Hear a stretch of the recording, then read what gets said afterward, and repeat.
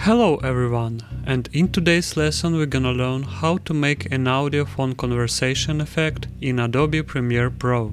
I've prepared audio track in timeline and let's hear how it sounds. Алло, привет, как дела? To make telephone effect, we go to the effects panel and search for high pass effect. Drag it to our audio track. Select this audio track and go to the Effect Controls panel.